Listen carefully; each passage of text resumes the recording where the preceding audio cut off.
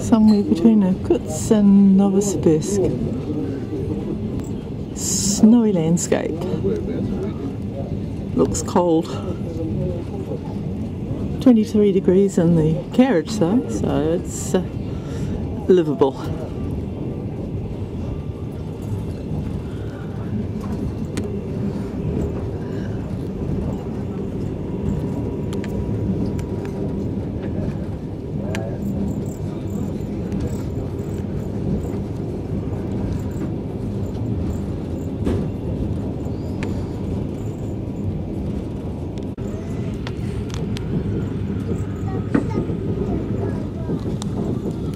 All the white birches mixed in with the snow is uh, it's really quite stunning.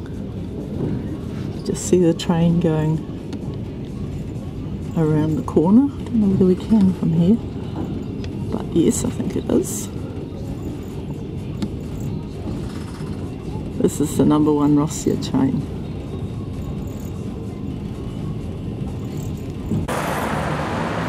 This is Lenin Square in Novosibirsk in Russia. You can see, presumably that's Lenin, I'm not going to cross the road to find out.